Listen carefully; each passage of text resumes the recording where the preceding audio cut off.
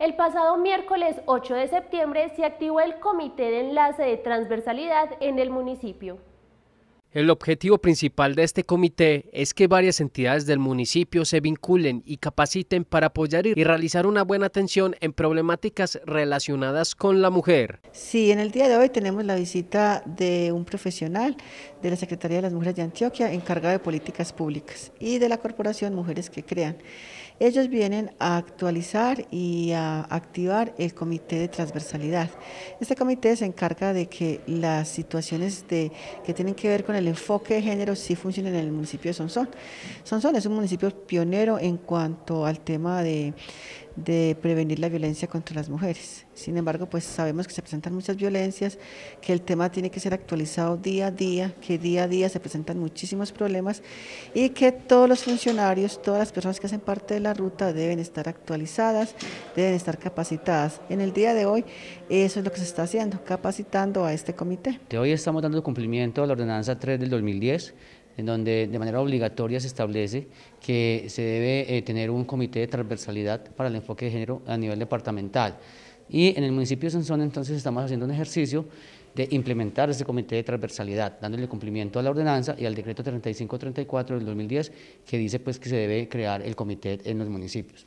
Es importante el comité de transversalidad en el municipio de Sansón, porque primero, eh, articulamos el ejercicio, digamos, el funcionario público, la funcionaria pública, se articula y entiende que eh, el tema de transversalidad del enfoque de género y de planear, de eh, establecer indicadores, es, es, responsabilidad no solo de la oficina de la mujer o de la autoridad de género municipal, sino que también es una responsabilidad del equipo administrativo, ¿cierto? Y segundo, pues es importante también el comité de transversalidad porque se estudian y se, se reconocen e identifican las brechas de género eh, con respecto a las mujeres y los hombres. Por ende, es importante también eh, eh, identificar las brechas sociales, porque entonces esas brechas que marcan desigualdad entre hombres y mujeres, cuando se reconocen e identifican, entonces se planea, se establecen indicadores para el cierre de estas brechas.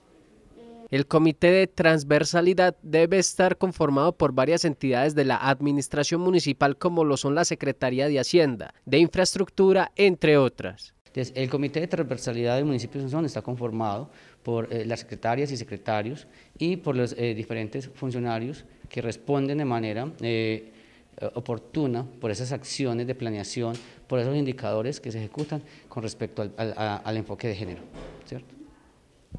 Y en ese sentido entonces hacen parte las dependencias que son las más importantes o las que tienen relación con esa gestión de los recursos públicos para poder entonces cerrar esas brechas de, género, que son, pueden ser planeación, comisaría, eh, hacienda, eh, desarrollo comunitario, desarrollo social, inclusión social, ¿cierto? Entonces esas dependencias hacen parte de la mesa del comité de transversalidad. Sí, eh, Parte del comité lo forman las instituciones del municipio, las dependencias, planeación, obras públicas, pescas, infraestructura, educación, deportes, el Consejo Municipal, el Centro de Convivencia, la Comisaría, la Inspección.